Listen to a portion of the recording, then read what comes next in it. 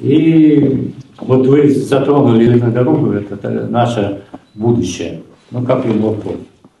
Мы об этом много раз говорили, сейчас задействует аэропорт, эта связка будет достаточно мощной. Так или иначе мы в международном плане будем задействовать. Но на самом-то деле это надо, я, конечно, извиняюсь, но больше показывать по телевидению, разъяснять, говорить, все показывать. Вот о чем вы говорите, там объекты, там, там, там, вот нефтебазы и так далее.